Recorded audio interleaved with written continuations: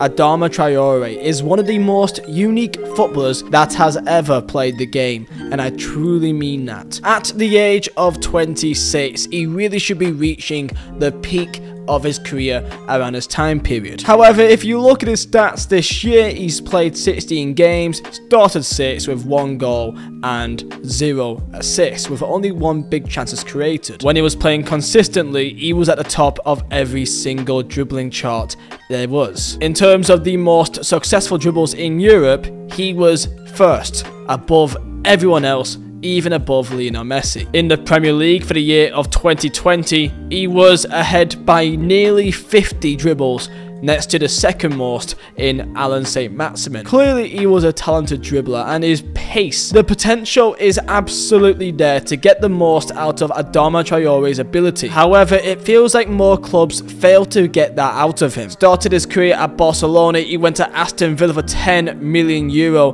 then went to Middlesbrough for 8.3 million euro playing in a championship. Transferred to Wolverhampton Wanderers for 20 million euro in which he had one loan stint for 6 months last year and then continued at Wolves. There's one saying that I see a lot saying if Adama Traore was any good at football, he'll be one hell of a footballer. If you're watching, 83% of you who watches my videos are not subscribed to the channel. So if you're new here, please do me a favor and hit that subscribe button. As well, if we could hit 2,500 likes, then it would mean the world. And for today's video, we've got a fantastic sponsor here. And of course, it's 365kitshirt.com. And we've got ourselves a package here. And there's something here that is very special. 365 Kitshirt is the best website for your replica football shirt needs. Any shirts you want from retro football classics to the current year's shirts with any names or patches that you want is from this website. And as the World Cup just passed, I had to treat myself, of course. And it's it's the one and only. It's uh, I had to. Now, usually I don't put names in the back, but I feel like I kind of had to for obvious reasons. And there you have it, just like that. Let's try this on. And there you go, number 10 on the front, and it actually does fit me quite well. I'm a size small, but I've got quite a, a slender body, to be fair. For any retro shirts, club shirts, or of course international shirts, then go down below, top of the description to 365kitshirt.com. Right now, they are doing a promotion that for any shirt that you get, you get one shirt completely free as a bonus with it. And if you you do make a purchase bigger than, I think, £120, then you get two free shirts with your order. And make sure to use code VZH for 10% off to make it even cheaper. Thank you, lads, for sponsoring today's video and let's get straight into it. In December 2014, a young Catalonia-born forward scored a sensational wonder goal as Barcelona thrashed Huesca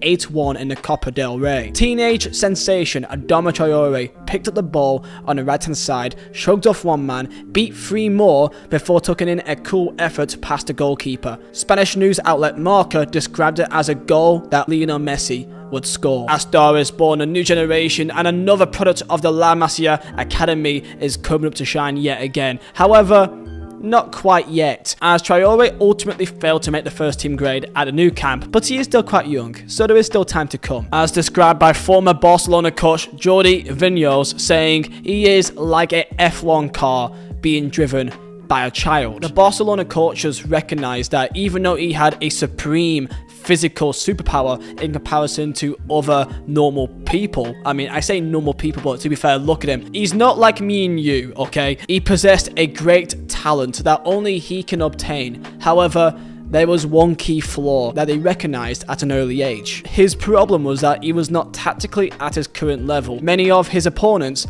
knew exactly how, despite his physical superiority, they could tactically stop him. After a £7 million move to Aston Villa, there were still problems with Adama Traore's game, according to Micah Richards. Micah Richards saying he was only 19 when he joined, so of course he was raw. In training, I knew he was faster than me, so I would just show him wide because the quality of his crossing wasn't great. He wouldn't just kick the ball straight out of play, but he didn't have a pinpoint cross on him. But we realised that day by day, he was getting better and better, so we couldn't just let him go wide anymore because he was just embarrassing everyone. Life in the Premier League did not suit Traore at first as he failed to score in his first 37 games in his first two seasons at Aston Villa, but later joined Middlesbrough. At Middlesbrough, he took different individual training sessions that are unique to only him. He took training sessions with Olympic medalist Darren Campbell, who was a former Team GB sprinter. Adama Traore saying that the sprinter told him to no longer go 100%, maybe at 70% you can still beat a player, and after that, you have more energy and also more control with the ball. It might look like I'm going full speed, but I know I can give more. That gives me more time to make decisions. In the 2017-18 year, Traore scored 5 goals and made 10 assists in what was his best season in front of goal. But his running stats in a championship with Middlesbrough were even better. He averaged a successful dribble every 9 minutes in that season,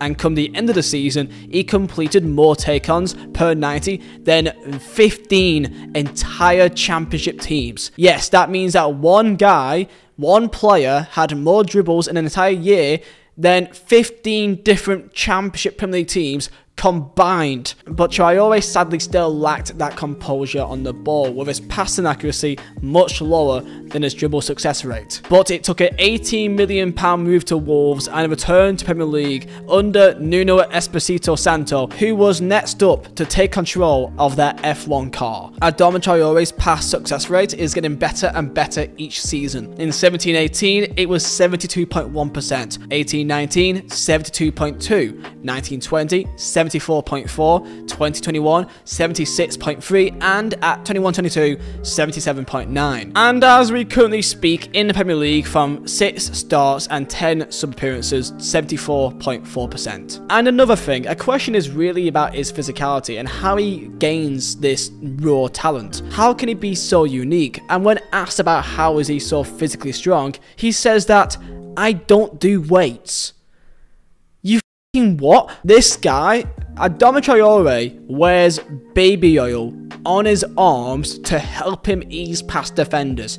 That's how dangerous he is. The secret to his physical transformation is his mum's cooking. I'm being genuinely serious. He's saying that his mum, I want to eat whatever the he's eating. Apparently his mum's cooking, plenty of rest, and no weights in the gym. As by Traore, I do a lot of core exercise. The secret is to know your body and adapt the training to your physical condition. I have gained in muscles with training, rest, and food, Food is essential and I consider it the most important part of training. Water, although I don't drink much in matches, is vital. Maintaining that water level in the body is essential for an athlete. I try to vary the amount of meals and have a varied, healthy and balanced diet. I can eat a little paella as well as a typical Malian dish with peanut sauce and brown rice. Everything is done by my mother, who is the best cook in the world. So we've got into how has he built the way he is and why is he so unique. We've also got into his upbringing to football and where he's at now. Adama Traore has just come back from a loan stint of six months at Barcelona in which he did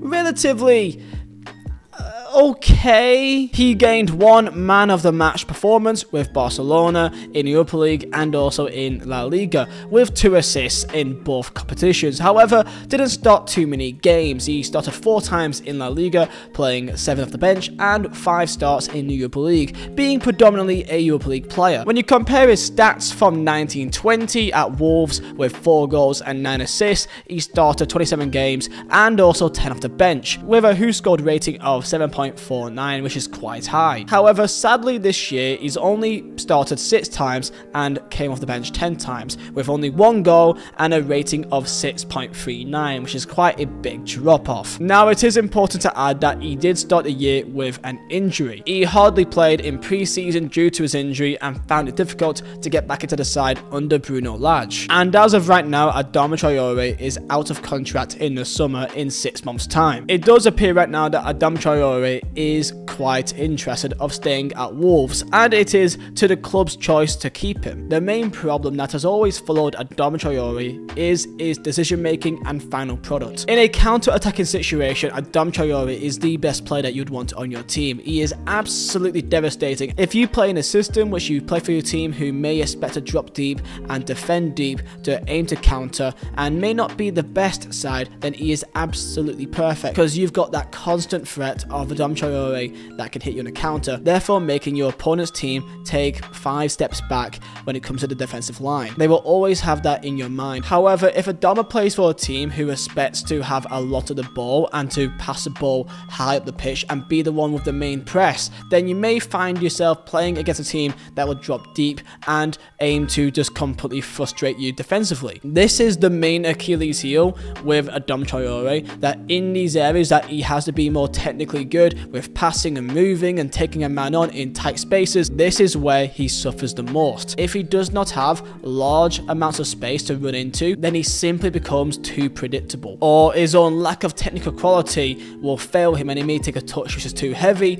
or will have a cross or a pass which is too poor. He does obviously have his moments and he is definitely a great footballer, but to be a footballer at the top level, you need to have different layers to your attack, different weapons in your armory, and with Adama Traore, he is slowly fading into the view of being a one-trick pony. Incredible pace, incredible power in large amounts of space, and if he doesn't have that space, then he will suffer. Tell me down below, where do you stand by Adama Traore? Do you think that he could join a team and become the main man and be a consistent goal scorer or creator in the team? He still has that incredible raw ability, but I think it's a certain type of team that would suit him most. I do think that the better the team that he joins, attacking wise, the worst he may be because if he plays for a team which he may not have enough space to really run into, then he will not get the opportunity to really use his best traits. However, you can see the benefit of if a big club like let's say a, a Liverpool will take him in or really anyone that's a big club that he could be purely a unbelievable super sub. But in certain situations, let's say that you're 1-0 down in the last 10 minutes and the entire team is defending for their lives, maybe he's a super sub in the way that if you are winning a game and you want to bring him on, because by then they will be chasing the game and then he will have space. Maybe he could be a super sub in that kind of way that when you are winning to bring fear into the defense so that they take five yards back. Do you think that he can actually add to his game or is it too late? I hope you guys do enjoy. I will see you guys next time for another video. Thank you all so much for the love loving the channel and I'll see you next time.